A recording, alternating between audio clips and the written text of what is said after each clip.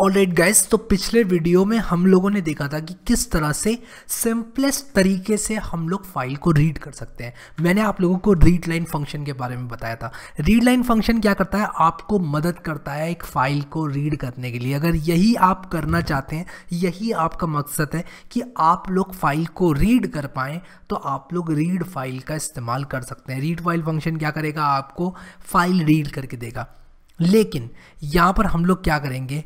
देखेंगे कि पीएचपी में फाइल्स किस तरह रीड करी जाती हैं, क्या तरीका होता है एक फ़ाइल को रीड करने का, अगर हम उसको रीड करना चाहते हैं रीडिंग के लिए सिर्फ़ हम उसका जो कंटेंट है उसको रीड करके यूज़ करना चाहते हैं कभी कभी हम लोग फ़ाइल को राइड भी करना चाहते हैं, यानी कि उस फ़ाइल में कुछ लिखना चाहते हैं, जैसे कि file dot H T M L अगर मैं उसके एंड में कुछ जोड़ना चाहता हूँ या उसके बीच में कुछ जोड़ना चाहता हूँ तो मैं क्या करूँगा उसको रीड करूँगा, ठीक है? और रीड करने के बाद उसके अंदर जो मैं जोड़ना चाहता हूँ, वो ऐड करके उसमें राइट कर दूँगा। तो ये सारी की सारी चीज़ें कैसे की जाती हैं? चलो, बनाते हैं thirty five underscore files dot P H P तो यहाँ पर क्या करेंगे? Thirty five underscore files dot P H P बनाएँगे और अपने काम को जो है, वो चालू करेंगे।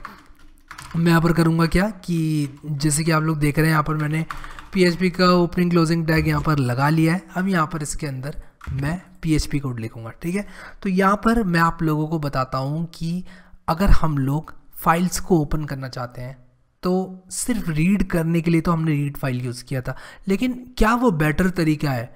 जिससे कि हम एक फ़ाइल को रीड करके एक फ़ाइल पॉइंटर को रिटर्न कर सकते हैं। अब आप लोग कहोगे फ़ाइल पॉइंटर क्या चीज़ आ गई? फ़ाइल पॉइंटर क्या है? तो चलो एक काम करते हैं यहाँ पर। जल्दी से बातें कम, काम ज़्यादा करते हैं। और यहाँ पर मैं लिखूँगा dollar F P T R is equal to यानी कि file pointer is equal to F open और उसके बाद मैं यहाँ पर my file dot T X T से चालू करूँगा। My file dot T X T तो यहाँ पर इसका जो पहला आर्ग्यूमेंट होता है, वो होता है फ़ाइल का नाम।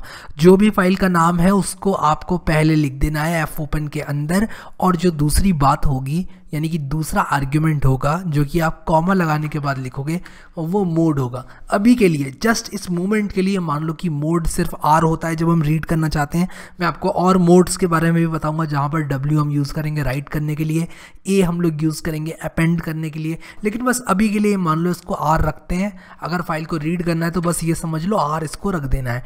ठीक है? आर इसको रख दिया। लेकिन अगर मैं अभी इस प्रोग्राम को रन करूँ, मैंने अपना जैम्प भी चालू नहीं किया है तो यार ज़रा सा एक काम करता हूँ, मैं जैम चालू कर लेता हूँ, मैं जैम चालू करके सिर्फ़ अपाचे सर्वर चालू करना है मुझे। और ये index of C W H P H P और ये पी एच पी की प्ले लिस्ट भी मुझे खोलनी पड़ती है आपको बताने के लिए कि ये वीडियो मेरी पी एच पी की प्ले लिस्ट का पार्ट है। काइंडली PHP की प्लेलिस्ट को ज़रूर एक्सेस कर लेना आप लोग, ठीक है? चलो, ये बात हो गई। अब यहाँ पर ये जो फ़ाइल मैंने बनाई है thirty fifth under files dot P H P इसने मुझे कुछ भी नहीं दिखाया। क्योंकि मैंने कुछ एको ही नहीं कराया तो कुछ एको कराने के लिए मैं क्या करूँगा? लिखूँगा यहाँ पर एको अगर मैं यहाँ पर dollar F P T R कर देता हूँ, और इसको अभी यहाँ पर रिलोड करता हूँ तो ये कह रहा है कि ओके मैंने गड़बड़ कर दी एफ़ पी टी आर मुझे लिखना पड़ेगा। इसको मैं सही से लिख कर रिलोड करता हूँ और आप लोग यहाँ पर देखो ये क्या लिख कर आ गया आप लोगों ये क्या है रिसोर्स आई डी थ्री तो यहाँ पर अगर आपको कंटेंट को रीड करना है तो फ़ाइल पॉइंटर बनाने के बाद आप लोगों को उसके बाद रीड करना पड़ेगा फ़ाइल को। अभी तो सिर्फ़ मैंने पॉइंट कराया है फ़ाइल को, मैंने एक फ़ाइल पॉइंटर बनाया है। अगर पी मैनुअल में आप लोगों को लेकर चलूँ, लोगों को पी मैनुअल बहुत बोरिंग लगती है, लेकिन मैं यहाँ पर आप लोगों को एक बात बताना चाहता हूँ। जितने भी ब्लॉग्स आप लोग पढ़ते हो, जितने भी वीडियोस आप लोग देखते हो इंक्लूडिंग दिस वन वो at the end of the day यहीं से आ रहे होते हैं। सोर्स यही है, जिस तरह एनर्जी का जो मुख्य सोर्स होता है, वो सूरज होता है सन होता है अल्टीमेट सोर्स उसी तरह कुछ भी जानकारी आपको पीएचपी की मिल रही है अल्टीमेट सोर्स से मिल रही है। तो गलत जानकारी आपको ना मिले इसके लिए आपको क्या करना पड़ेगा? अल्टीमेट सोर्स पर जाना पड़ेगा। अल्टीमेट सोर्स से इन्फॉर्मेशन लेनी पड़ेगी। अब देखो, मैंने एफ़ ओपन फ़ंक्शन के बारे में आप लोगों को बताया। रिटर्न क्या करता है? देखो, इसने मोड्स लिखे हुए हैं, इस पर आते हैं अभी थोड़ी देर में। लेकिन रिटर्न क्या करता है ये? अगर मैं इसकी रिटर्न वैल्यू की बात करूँ तो ये कह रहा है रिटर्न सब file pointer resource on success और फॉल्स ऑन फेलियर और फॉल्स ऑन फेलियर यानी कि अगर ये रीड नहीं कर पाया। यानी कि अगर मैं कुछ ऐसे लिख दूँ फ़ाइल का नाम गलत करके, और इसके बाद इसको रिलोड करूँ तो ये कह रहा है फेल टू ओपन स्ट्रीम अब अगर मैं यहाँ पर इसको एको करूँ, जो कि मैंने पहले लिखा हुआ था dollar F P T R और इसको रिलोड करूँ, इसको मैं रिलोड कर रहा हूँ, मैंने dollar F P T R किया, मुझे वैर डंप यूज़ करना पड़ेगा सॉरी वैर डंप मैं यूज़ करूँगा यहाँ पर। और वैर डंप यूज़ करूँगा जैसे ही मैं तो आप लोग देखो, ये बूलियन वैल्यू फॉल्स रिटर्न कर रहा है। यानी कि मैं चेक कर सकता हूँ यहाँ पर कि अगर मेरा F P T R false है एफ़ इसको मैं रेफरेंस के लिए रखता हूँ यहाँ पर ताकि आप लोग को जब मैं कोड दे दूँ, तब आप लोग को ये मिल जाए। If F P T R मैं को लिखूँगा, मैं लिखूँगा, देखो भाई ऐसा है कि मैं डाई कर देता हूँ। उसको die unable to open this file please enter a valid file name ठीक है? और सैमी कोलन तो आप लोग गलती से भी लगाना भूलोगे नहीं, मुझे मालूम है। तो यहाँ पर देखो, मैंने इसको रिलोड किया और यहाँ पर इसने मुझे एक वार्निंग दी। मैंने यहाँ पर लिखा कि इफ़ नॉट ऑफ़ करना पड़ेगा मुझे, क्योंकि यू नो वॉट ये जब नॉट ऑफ़ फॉल्स ट्रू होगा, तभी इसके अंदर घुसेगा। यानी कि अगर अगर यहाँ पर ये फ़ाइल ओपन नहीं कर पा रहा है, तब ये मैसेज आएगा। तो देखो, अब मैं रिलोड करूँगा तो ये मैसेज आना चाहिए। ये यहाँ पर मैसेज आ रहा है। अब ये जो वार्निंग आई, आप लोग सोच रहे हो यार वार्निंग आ गई यहाँ पर, बड़ी दिक्कत वाली बात है। देखो वार्निंग तो अभी आ रही है क्योंकि मैं डेवलपमेंट इन्वायरमेंट में हूँ। ये मेरा डेवलपमेंट इन्वायरमेंट है। हम लोग प्रोडक्शन इन्वायरमेंट में भी जाएँगे। जब हम डिप्लॉयमेंट में आएँगे, तब बताऊँगा आप लोगों को। लेकिन अभी हम डेवलपमेंट इन्वायरमेंट में हैं और हमारे लिए वार्निंग देखना बहुत ज़रूरी है। एक बार हम अपने कोड को फाइनल कर देते हैं, तब हम प्रोडक्शन इन्वायरमेंट में चले जाते हैं। यानी कि हमारा वो सर्वर जो कि हमारे यूज़र्स को सर्व करेगा। अगर मैं उस तरह के इन्वायरमेंट में आ गया हूँ, तब तो तुम लोग ये समझ लो कि मुझे वार्निंग्स दिखनी ही नहीं चाहिए। ऑब्वियस सी बात है, मैं चाहूँगा भी नहीं कि मेरे यूज़र्स वार्निंग को देखें। लेकिन अगर मैं डेवलप कर रहा हूँ तो मैं एक एक चीज़ की जानकारी रखना चाहूँगा। तो वही जानकारी पीएचपी मुझे दे रहा है कि आपने जो फ़ाइल लिखी है, कहीं मिसस्पेल तो नहीं कर दिया आपने? तो इस तरह से हमारा ही फ़ायदा होता है। करेक्ट करने के बाद फ़ाइल का नाम देखो, ये वार्निंग जा चुकी है और ये भी अब नहीं होगा प्रिंट लेकिन इस फ़ाइल के कंटेंट को निकाला कैसे जाए, ये आपको बताता हूँ। तो मैं एक डॉलर कंटेंट नाम से वेरिएबल बना रहा हूँ। Dollar content is equal to लिखा और मैं यहाँ पर एफ़ रीड फ़ंक्शन का इस्तेमाल करूँगा। एफ़ रीड फ़ंक्शन क्या करता है? पहला क्या लेता है? आर्ग्यूमेंट जो फ़ाइल पॉइंटर है मेरा। तो मैं इसको एफ़ पी टी आर दे दूँगा। इसके बाद ये लेंथ लेता है। और लेंथ मुझे क्या मालूम यार इस फ़ाइल की क्या है? तो अगर मैं पाँच डाल दूँ, देखो मैं पाँच डाल के आप लोगों को दिखाता हूँ, इसको एको भी करता हूँ। ठीक है? डॉलर कंटेंट तो यहाँ पर आप लोग देख सकते हैं, इसने मुझे दिस दिखा दिया है। अब आप लोग कहेंगे, दिस तो चार कैरेक्टर्स हैं। आपने तो यहाँ पर पाँच दिए हैं। तो यहाँ पर मैं आपको फ़ाइल दिखाता हूँ। जिसके बाद एक स्पेस भी है, वो भी प्रिंट हो रहा है। तो कुल पाँच कैरेक्टर्स आ रहे हैं। अगर मैं अपनी फ़ाइल में आकर इसको तीन कर दूँ तो आप लोगों को टी एच आई दिखेगा। तो कैसे पता चले कि फ़ाइल में कितने कैरेक्टर्स हैं? तो उसके लिए भी पीएचपी में एक फ़ंक्शन होता है। आप लोग कह रहे हो, यार, कितने फ़ंक्शंस होते हैं? ये सारे फ़ंक्शंस आपको मालूम होने चाहिए। और यहाँ पर इस फ़ंक्शन का नाम है फ़ाइल साइज़ फ़ाइल साइज़ क्या करेगा आपको? फ़ाइल का साइज़ बता देगा। तो file size my file dot T X T मैंने लिखा। इसका क्या मतलब हुआ? इसका मतलब ये हुआ, अगर इसमें दस कैरेक्टर्स हैं तो यहाँ पर मैंने दस लिख दिया और मुझे पूरी फ़ाइल मिल जाएगी। तो यहाँ पर दिस से लेके फ़ाइल डॉट तक मुझे पूरा कंटेंट मिलना चाहिए और आप लोग देखो, वो मुझे मिल भी गया है। तो अगर मैं इसकी सोर्स को भी देखूँ तो यहाँ पर देखो न्यू लाइन भी यहाँ पर मुझे मिल गई है, ठीक है? लेकिन एचटीएमएल इसको ऐसे इंटरप्रेट कर रहा है। तो that is not a problem I hope कि आप लोग समझ गए होंगे एफ़ ओपन के साथ साथ हमारा जो एफ़ रीड फ़ंक्शन और फ़ाइल साइज़ फ़ंक्शन ये तीन मुख्य फ़ंक्शन है जो कि हमने देखे वो किस तरह काम करते हैं।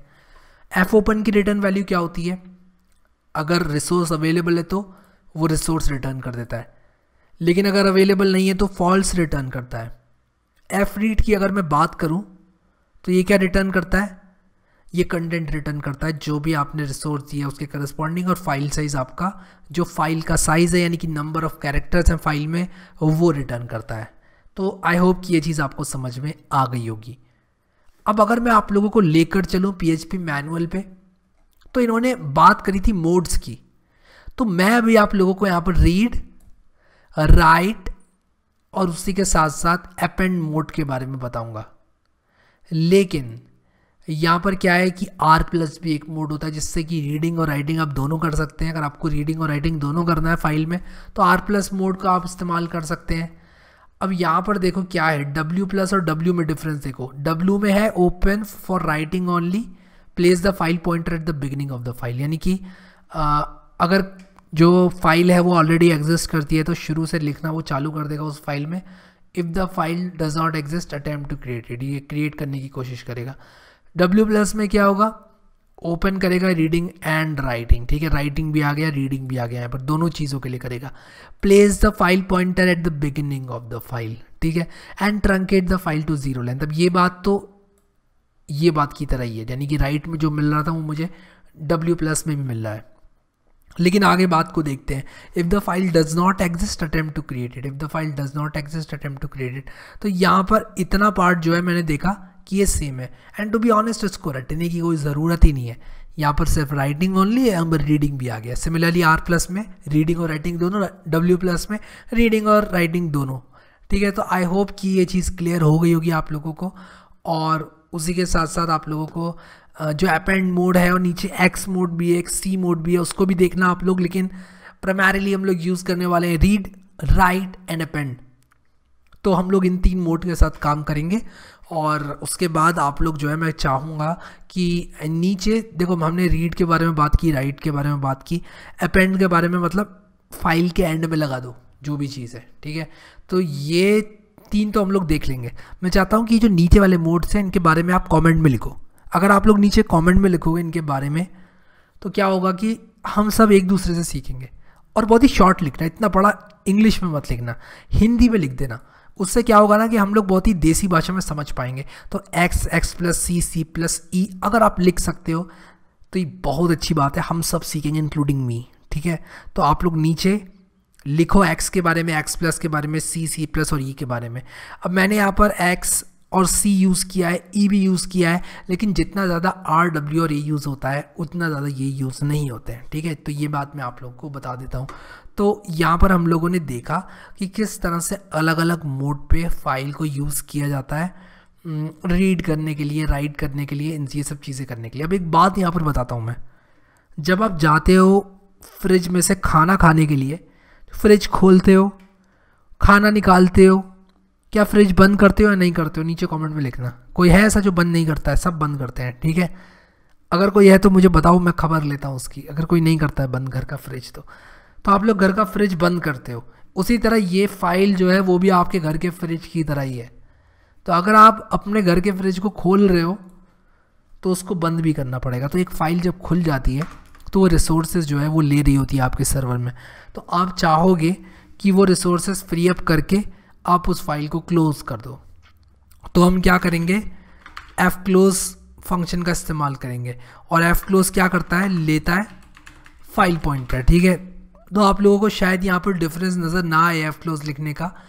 लेकिन ये डिफरेंस बहुत ज़्यादा हो जाता है जब आपकी वेबसाइट पे यूज़र्स होंगे ट्रैफ़िक होगा, और आपका जो सर्वर है, वो सीपीयू और राम के लिए हाथ जोड़कर भीख मांग रहा होगा। तब आपको पता चलेगा इसकी वैल्यू तो रिसोर्सेज अगर आप लोग चाहते हो आपकी ऑप्टिमल यूज़ हो तो फ़ाइल जैसे जैसे खोलते हो, वहीं के वहीं जैसे काम ख़त्म हो जाए, उसको क्लोज़ कर दो। जैसे कि मेरा काम यहीं ख़त्म हो गया, क्योंकि कंटेंट के अंदर तो मेरा कंटेंट आ गया तो मैं इसको क्लोज़ कर दूँगा। तो देखो, यहाँ तो कुछ फ़र्क नहीं, मुझे पता चलेगा, लेकिन जब मेरे वेबसाइट पर ब्लॉग पर, या जो भी चीज़ें मेरी ऑनलाइन खड़ी हुई पीएचपी में, उस पर यूज़र्स आएँगे और स्लो लोड हो रही होगी उनसे वेबसाइट। और मैं जब अपने सर्वर में चेक करूँगा तो रैम यूसेज हाई आएगा सी यूसेज हाई आएगा। जो रिसोर्स है बेसिकली वो ज़्यादा यूज़ हो रही होगी, तब मुझे इसकी वैल्यू पता चलेगी। तो इसीलिए आप लोग पहले के पहले ही इस तरह के ऑप्टिमाइजेशन को मद्देनज़र रखते हुए कोडिंग करो। आई होप कि ये वीडियो हेल्पफुल रहा होगा, फ़ाइल के बारे में पता चला होगा आप लोगों को। एफ़ क्लोज क्या करता है आपको पता चला होगा। और ये जो हमारे पास फ्लो है पूरा फ़ाइल को रीड राइट करने का पीएचपी में, ये क्लियर हो गया होगा। सोर्स कोड मैं डिस्क्रिप्शन में लिंक दे दूँगा आप लोगों को। बिल्कुल भी टेंशन मत लेना आप लोग। तो यहाँ पर अगर आप लोगों ने ये प्लेलिस्ट एक्सेस नहीं करी है तो आप लोग इस प्लेलिस्ट को एक्सेस ज़रूर कर लेना, क्योंकि यही वो जगह है जहाँ पर मैंने आप लोगों को सारी की सारी वीडियोस जो हैं वो दे रखी हैं। बहुत सारे लोग बीच में आते हैं मेरे पास और मुझे बताते हैं कि उनकी, उनको प्लेलिस्ट नहीं मिल रही है। मुझे सजेशन देते हैं कि एक प्लेलिस्ट बना लो आप और कोर्स को एक जगह रख दो, जबकि मैंने ऑलरेडी रखा होता है। तो इसीलिए मैं हर वीडियो के एंड में ये बोलना पसंद करता हूँ कि आप लोग प्लेलिस्ट एक्सेस कर लें डिस्क्रिप्शन में से। लिंक ले लें, मैंने दे रखा है लिंक वरना चैनल खोल के भी आपको प्लेलिस्ट तो मिली जानी है। तो यहाँ पर आप चैनल खोल के प्लेलिस्ट मेरी जितनी भी है, सिर्फ़ पीएचपी की बात नहीं हो रही है, सब आपको यहाँ पर मिल जाएँगी। आई होप वीडियोज़ हेल्पफुल रहे होंगे। अभी के लिए इस वीडियो में इतना ही guys Thank you so much guys for watching this video and I will see you next time.